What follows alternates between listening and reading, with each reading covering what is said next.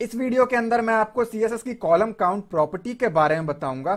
कैसे हम इसको यूज़ करके अपने वेब पेज के अंदर जो हमारे टेक्स्ट हैं, उसको अलग अलग कॉलम्स में डिवाइड करते हैं और काफ़ी अच्छा एक प्रैक्टिकल होने वाला है ये। आगे कुछ बताऊँ, इससे पहले मैं आपको एक बार इमेज दिखा देता हूँ कि हम क्या बनाने वाले हैं। मैंने यहाँ पे एक बुक का एक इमेज यहाँ पे क्लिक किया हुआ है इंग्लिश का। आपने नोटिस किया होगा ऑलमोस्ट मैंने तो ये देखा ट्वेल्थ क्लास तक भी जो हमारे इंग्लिश के बुक होते थे। इंग्लिश से मेरा मतलब ये है, जो इंग्लिश में लिखा हुआ होता था, वो कोई भी सब्जेक्ट हो सकता है, ठीक है? उसके अंदर ये दो अलग अलग कॉलम्स बने होते थे, ठीक है? दो अलग अलग पार्ट्स में हमारे बुक को डिवाइड किया होता था एक एक चैप्टर को। मतलब आप यहाँ तक पढ़ेंगे, उसके बाद आप जंप कर जाएँगे यहाँ पे, ठीक है? ये तीन पार्ट्स में भी हो सकता है, चार में भी हो सकता है, लेकिन एटलीस्ट मैं ये उम्मीद करता हूँ कि जितने भी लोग इस वीडियो को देख रहे हैं एटलीस्ट उन्होंने कम से कम दो पार्ट्स में तो डिवाइडेड देखा ही होगा, दो कॉलम्स में डिवाइडेड अपने बुक के अंदर कंटेंट्स को देखा ही होगा। आज की वीडियो के अंदर हम लोग यही समझने वाले हैं और इसके जितने भी दुनिया भर के प्रॉपर्टीज़ हैं वैल्यूज़ हैं, उन सबको हम लोग बहुत ही ज़्यादा डीप में समझने वाले हैं, ठीक है? वीडियो को स्टार्ट करने से पहले अगर आप हमारे चैनल पर न्यू है तो सब्सक्राइब करें बेल आइकन को क्लिक करके ऑल नोटिफिकेशन को ऑन करें ताकि आपको लेटेस्ट वीडियोस की नोटिफिकेशन मिलती रहे। और एक बार ज़रूर प्लेलिस्ट सेक्शन में जाके देखें, यहाँ पे ऑलरेडी मैंने सीएसएस के लिए एक प्लेलिस्ट बना रखा है Java script game development WhatsApp की तरह चैट एप्लीकेशन कैसे बनाना है गूगल की तरह वेबसाइट कैसे बनाना है और भी बहुत कुछ है जो आपके काम का है जो आपको प्रोजेक्ट में बहुत हेल्पफुल रहेगा। सो so, मैं आ गया अपने फोल्डर में यहाँ पे मैंने एक फ़ाइल क्रिएट कर रखा है कॉलम काउंट नेम से और इसको मैं अगर ओपन करके आपको चेक कर रहा हूँ तो करंटली इसके अंदर कुछ भी नहीं है। डमी टेक्स्ट मैंने इसके अंदर कॉपी पेस्ट कर रखा है और एक डिव का बॉर्डर लगा रखा है ठीक है?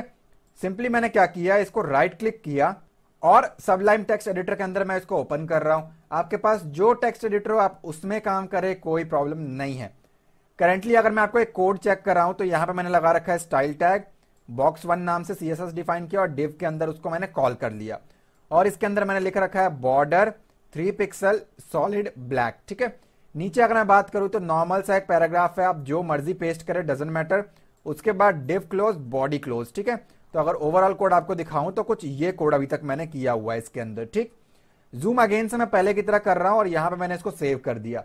अब सबसे पहले तो हम समझते हैं इसके अंदर हमें क्या क्या ऑप्शंस मिलते हैं क्या क्या वैल्यूज़ मिलते हैं, ठीक है? और क्या ये चीज़ है? कॉलम काउंट प्रॉपर्टी देखिए बाय डिफ़ॉल्ट क्या होता है, जब हम एक डिव बनाते हैं तो उसको हम एक पर्टिकुलर विथ असाइन करते हैं। नहीं तो वो पूरे के पूरे पेज को कंज्यूम कर लेता है, ठीक है? और उसके अंदर हमारा कुछ डमी कंटेंट होता है। लेकिन मेरी रिक्वायरमेंट ऐसी नहीं है। मैं चाहता हूँ थोड़ा बहुत अलग दिखे मेरी वेबसाइट और बहुत सारे वेब पेजेस पे या वेबसाइट्स पे आपने ऐसा देखा होगा। कि हमारा जो वेब पेज है, वो तीन अलग अलग कॉलम्स में डिवाइडेड है, ठीक है?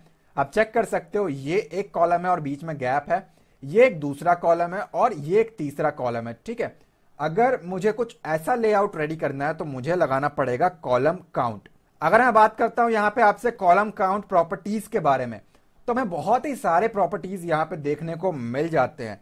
जैसे कि कॉलम काउंट जो कि मैंने आपको जस्ट अभी शो कर दिया column gap, column rule column rule width column rule style, column rule colour, column width column fill, column span end column. तो ये बहुत सारे प्रॉपर्टीज़ हैं जो हमें मिल जाते हैं, लेकिन इसमें से दो ऐसे प्रॉपर्टीज़ हैं जो सही तरीके से काम नहीं करते, क्योंकि कॉलम काउंट प्रॉपर्टी जो है वो सी एस एस थ्री के अंदर लेटेस्ट है, ठीक है? और मैक्सिमम ब्राउजर्स जो हैं, इसके दो अलग अलग प्रॉपर्टीज़ को सपोर्ट नहीं करते। अब वो कौन से दो अलग अलग प्रॉपर्टी है?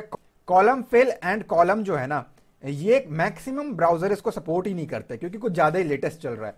तो करंटली तो ये काम नहीं करता इन फ्यूचर काम करेगा तो मैं आपको वीडियो बना के ज़रूर दिखा दूँगा, ठीक है?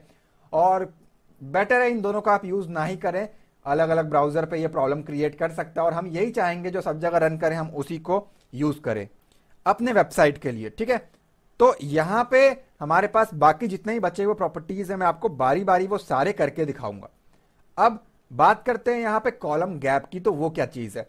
यहाँ पे मैंने एक एरो बना रखा है आपको हाईलाइट करने के लिए सीधे से। यहाँ पे एक है और ये है। हमारे पास तीन अलग अलग कॉलम है और ये जो बीच में स्पेस हाईलाइटेड है ना, बीच में जो स्पेस बचा हुआ है, ये हमारे कॉलम के बीच का गैप है। बाय डिफ़ॉल्ट ये ऑटोमेटिक होता है ऑटो मोड पे होता है, हम इसको कम या ज़्यादा कर सकते हैं अपने अकॉर्डिंग ठीक है? तो ये कहलाता है हमारा कॉलम गैप नेक्स्ट अगर मैं बात करूँ यहाँ पे तो यहाँ पे होता है हमारे पास कॉलम रूल अब रूल का मतलब होता है एक लाइन ठीक है? तो यहाँ पे आपको एक लाइन लगा करके दे देगा. ध्यान देने वाली बात यह है कि ये हमारा एक बॉर्डर है जो हमने बाय डिफ़ॉल्ट लगा के रखा है और रूल आपको सिर्फ़ और सिर्फ़ बीच में रूल लगा के देगा. ना तो इस लेफ़्ट साइड पर बाहर की तरफ़, ना राइट साइड पर बाहर की तरफ़, ठीक है? अब बात करते हैं यहाँ पे हम लोग कॉलम विर्थ की. तो देखिए, ये जो हमारा पर्टिकुलर एरिया जो ये कंज्यूम कर रहा है ना, ये कहलाता है हमारा कॉलम विर्थ तो इसका भी एक कॉलम विर्थ है, इसका भी है और इसका भी है, ठीक है? तो ये होता है हमारा कॉलम विर्थ बाकी जितने भी हैं, उसको डायग्राम से समझने की कोई ज़रूरत नहीं है, उसको डायरेक्टली हम लोग प्रैक्टिकली देख सकते हैं. तो डायरेक्टली हम लोग जंप करते हैं प्रैक्टिकल सेक्शन की तरफ़. तो मैं आ गया अपने कोड में और यहाँ पे मैंने एक काम किया सबसे पहले. यहाँ पे आकर के मैंने बॉर्डर वगैरह तो ऑलरेडी लगा रखा है, जिसकी हेल्प से मेरे पास कुछ ऐसा लेआउट रेडी हुआ है, ठीक है? सबसे पहला काम तो मैं उसको ये करता हूँ कि मैं इसको एक पर्टिकुलर विर्थ असाइन कर देता हूँ। आप चाहें तो छोड़ सकते हैं, कोई दिक्कत नहीं है, लेकिन मैंने इसको विर्थ दे दिया लेटेस्ट से मैंने इसको विर्थ दिया 800 पिक्सल्स ठीक है? 800 पिक्सल्स का मैंने इसको विर्थ दे दिया। तो कुछ ऐसा रिज़ल्ट है मेरे सामने। आपको ध्यान ये देना है कि विर्थ चेंज नहीं होगा। ये यहाँ का यहीं पे रहेगा, ठीक है? अब डायरेक्टली आपको दिखाता हूँ मैं कॉलम काउंट लगा करके। तो मैंने यहाँ पे लिखा कॉलम काउंट और इसके बाद मैंने दे दिया टू अब ध्यान देने वाली बात यह है मिनिमम वन तो रहता ही है तो वन लगाना, ना लगाना एक ही बात है। कम से कम दो होना चाहिए। सीधे हमारा विर्थ इतना ही रहेगा डेव का, लेकिन ये दो अलग अलग पार्ट्स में डिवाइड हो गए। मुझे पूरी उम्मीद आप बेटर देख पा रहे होगे मोबाइल यूज़र्स के लिए मुझे इतना जूम करने की ज़रूरत तो नहीं है, लेकिन फिर भी। ठीक है तो ये हो गया हमारे पास कॉलम काउंट टू की हेल्प से। और जूम कर देता हूँ मैं कोड को। यहाँ पे कर दिया मैंने थ्री तो इससे क्या होगा, जो मेरा विर्थ है ना, वो स्टेबल रहेगा यहीं पे, लेकिन ये ओवरऑल हमारा तीन पार्ट्स में डिवाइड हो जाएगा, ठीक है? तो आप इसको बढ़ा सकते हैं अपने अकॉर्डिंग जितना अच्छा लगे। लेकिन देखिए, सीधी सी बात है, तीन के ऊपर ये कुछ खास लगेगा नहीं, सच बताऊँ तो। चार तो बहुत ही ज़्यादा हो गया। दो या तीन में आप इसको परफेक्टली डिवाइड कर सकते हैं और ये बहुत ही अच्छा लगेगा देखने में, ठीक है? तो मैं करंटली इसको वापस तीन कर रहा हूँ और सेव करके रिफ्रेश किया। अब आप देख सकते हैं, यहाँ पे हमारे पास कुछ एक पर्टिकुलर स्पेसेस है। ये जो गैप है, मैं चाहता हूँ उसका गैप को बढ़ाया जाए। तो यहाँ पे मैं आ गया और यहाँ पे मैंने लिखा कॉलम गैप लेटेस्ट से मैंने इसको दिया 150 पिक्सल्स 150 पिक्सल्स और मैंने इसको सेव किया। सेव करके रिफ्रेश किया तो आप बेटर देख सकते हो विर्थ को कुछ नहीं हुआ। लेकिन इसके बीच में डेढ़ 150 150 पिक्सल्स का ना गैप आ गया, ठीक है? आप चाहें तो उसको कम कर सकते हैं, अपने अकॉर्डिंग ऑब्वियस ही बात है, इतना ज़्यादा बना करके मैं अपने पेज को खराब तो बिल्कुल नहीं बनाऊँगा। तो मैंने सेव किया से दिस ये भी बहुत ज़्यादा है। बाय डिफ़ॉल्ट जो था, वो तो खैर बहुत ही ज़्यादा अच्छा था। लेकिन हम अपने अकॉर्डिंग कम ज़्यादा उसको कर सकते हैं, ठीक है? तो ये रहा हमारा कॉलम गैप नेक्स्ट है हमारे पास यहाँ पे कॉलम रूल विर्थ ठीक है? सो उसको अप्लाई करते हैं तो मैं यहाँ पे आ गया और यहाँ पे मैंने लिखा कॉलम रूल ठीक है? मैंने लगा दिया यहाँ पे कॉलम रूल कॉलम रूल के अंदर दे दिया मैंने इसको लेटर से 5px और सेव किया, यहाँ पे आके रिफ्रेश किया तो आप देख सकते हो कुछ भी नहीं आया। ठीक है? तो इसके लिए ना हमें थोड़े बहुत चेंजेस करने होंगे। जैसे कि कॉलम रूल विर्थ तो आपको ये लगा देना है और सेव कर लेना है। सेव करके रिफ्रेश करोगे तो कुछ भी अभी भी देखने को आपको नहीं मिलेगा। ठीक है? थोड़े बहुत चेंजेस यहाँ पे और होते हैं। जैसे कि कॉलम रूल और उसके बाद हमें लिखना होता है यहाँ पे स्टाइल कॉलम रूल स्टाइल तो इसके अंदर मैंने दे दिया इसको सॉलिड ठीक है? इसके बाद जो आपको लिखना होता है, वो होता है कॉलम रूल कलर तो मैंने यहाँ पे लिखा कॉलम रूल कलर तो मैंने कलर दे दिया इसको रेड और इसको मैंने सिंपली सेव किया. ठीक है? उसके बाद मैं अपने डॉक्यूमेंट पे आके रिफ्रेश करता हूँ। तो आप देख सकते हो हमारे पास फाइव पिक्सल्स का एक सॉलिड रेड कलर का रूल आ चुका है, एक लाइन आ चुका है। आपको ज़्यादा कंफ्यूजन ना हो, इस चीज़ के लिए मैं एक काम करता हूँ, जो मैंने अपने डिव का एक बॉर्डर लगा रखा है ना, उसको मैं ज़ीरो पिक्सल्स कर रहा हूँ। और उसके बाद मैंने इसको सेव किया और रिफ्रेश किया सीधिस ये कुछ ऐसा काम करता है, और जब आप इसको अलाइन सेंटर वगैरह करोगे तो ये बहुत ही अच्छा काम करेगा। आप चाहें तो इसका शॉर्ट हैंड भी बना सकते हैं मतलब कि आपको ये तीन तीन लाइनें चार चार लाइनें लिखने की कोई ज़रूरत नहीं है। हम इसको सिंपली एक ही प्रॉपर्टी के ज़रिए पूरा कर सकते हैं, जो कि है हमारे पास कॉलम रूल ठीक है?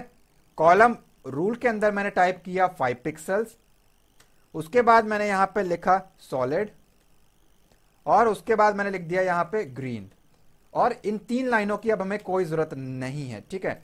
तो मैंने इसको रिमूव किया और सेव किया। यहाँ पे आके रिफ्रेश किया तो बड़े आराम से वो काम करेगा। अब आपके पास ना यहाँ पे बहुत ही अलग अलग ऑप्शन मिल जाते हैं।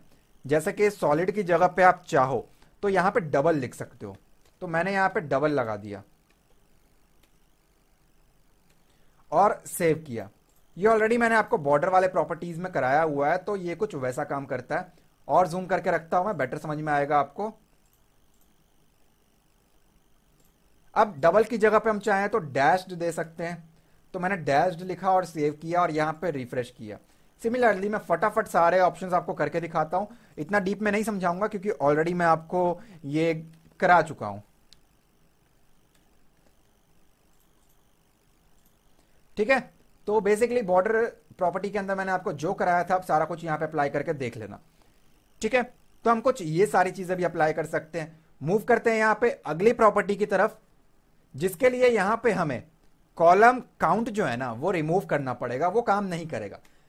कहने का मकसद ये है कि कॉलम काउंट के साथ अगला प्रॉपर्टी काम नहीं करेगा, जो कि है कॉलम विर्थ तो मैंने यहाँ पे लिखा कॉलम विर्थ ठीक है? अब देखिए, ये जो विर्थ है ना हमारा, ये डिव का है, जो पहले लगाया है मैंने, जो कि यहाँ पे था। इसको कोई फ़र्क नहीं पड़ेगा, ये इतना ही रहेगा। अब मैं कॉलम की विर्थ सेट कर रहा हूँ कि ये जो मेरा एक पर्टिकुलर लाइन आ रहा है, एक एक पैराग्राफ उसका विर्थ कितना होगा? तो वो मैंने यहाँ पे लिखा, ठीक है?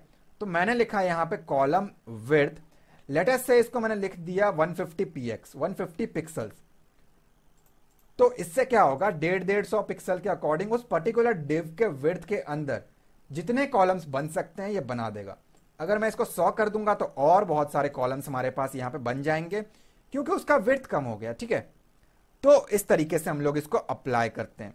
एक और है हमारे पास कॉलम स्पैन तो अगर मैं आपको स्पैन दिखाऊँ ना तो देखिए स्पैन के लिए हमें ज़्यादा कुछ करने की ज़रूरत नहीं है। पहले तो एक काम करता हूँ, इसको मैं 200 पिक्सल्स करके देखूँ, ये कैसा इंपैक्ट देता है मेरे पास। तो मैंने इसको सेव किया और रिफ्रेश किया, ठीक है, पहले की तरह ये अच्छा लग रहा है। अब लगाता हूँ मैं यहाँ पे कॉलम स्पैन तो कॉलम स्पैन जो है ना, वो डायरेक्टली काम नहीं करेगा। कॉलम स्पैन को करेंटली मैं हटाता हूँ।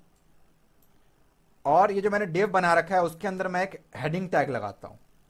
लेटेस्ट से मैंने यहाँ पे एच टू टैग लगा दिया और इसके अंदर लिख दिया मैंने कॉलम काउंट ट्यूटोरियल और सेव किया। जब आप बाय डिफ़ॉल्ट ये करके रिफ्रेश करोगे ना तो क्या होगा? ये जो आपने कंटेंट लिखा हुआ है, जो आपने हेडिंग दिया है, ये आपका एक पर्टिकुलर कॉलम के अंदर चला जाएगा, जिससे आपका अलाइनमेंट खराब हो जाएगा। और मैं नहीं चाहता ऐसा हो, मैं चाहता हूँ ये उसके ऊपर रहे। तो उसके लिए यहाँ पे आपको स्पैन अप्लाई करना पड़ता है और स्पैन के दो वैल्यूज़ है। या तो आप ऑल लगाओगे यहाँ पे, या फिर आप नन लगाओगे। नन को लगाना, ना लगाना एक ही बात है, ठीक है? फिर भी मैं आपको यहाँ पे नन लगा करके दिखा देता हूँ कि इससे कुछ नहीं होने वाला है।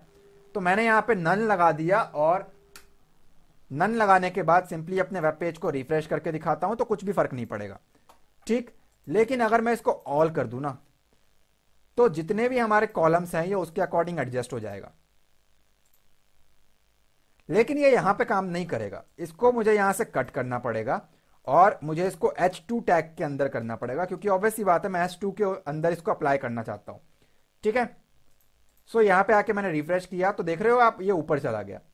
आप कहोगे प्रॉब्लम थी इसलिए नन को यहाँ पे भी ट्राई करके दिखा दो तो मैंने दिखा दिया। पहले की तरह हो जाएगा ठीक है? तो यहाँ पे मैंने लिखा ऑल अब ऑल से हमारे पास कुछ ऐसा इंपैक्ट आ रहा है। अगर यहाँ पे जो हमारा कंटेंट है टाइटल उसको बढ़ाया जाए। जैसे कि बाय साइबर वॉरियर्स और सेव करूँ। तो देखिए, वो और थोड़ा सा विर्थ कवर करेगा। अगर और कंटेंट होगा तो वो यहाँ तक जाएगा। तो कुछ इस तरीके से हम लोग कॉलम स्पैन को यूज़ करते हैं, ठीक है? मैं उम्मीद करता हूँ ये वीडियो आपको अच्छा लगा होगा आपको टॉपिक समझ में आ चुका होगा। अगर अच्छा लगा है तो लाइक करें और कमेंट करके अपना फीडबैक ज़रूर दें। चैनल पर नहीं हो तो सब्सक्राइब करें। बेल आइकन को क्लिक करके ऑल नोटिफिकेशन को ऑन करें ताकि आपको लेटेस्ट वीडियोस की नोटिफिकेशन मिलती रहे। और एक बार ज़रूर प्लेलिस्ट सेक्शन में जाके देखें। CSS tutorial JavaScript tutorial game development WhatsApp की तरह चैट एप्लीकेशन गूगल की तरह वेबसाइट और भी बहुत कुछ आपको देखने को मिलता है। मैं मिलता हूँ आपसे अगली वीडियो में। Thanks for watching guys